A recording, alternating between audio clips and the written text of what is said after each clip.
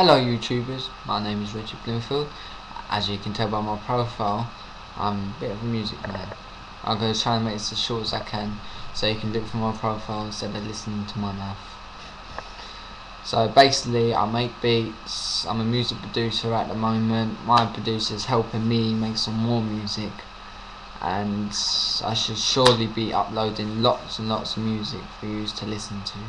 So enjoy it!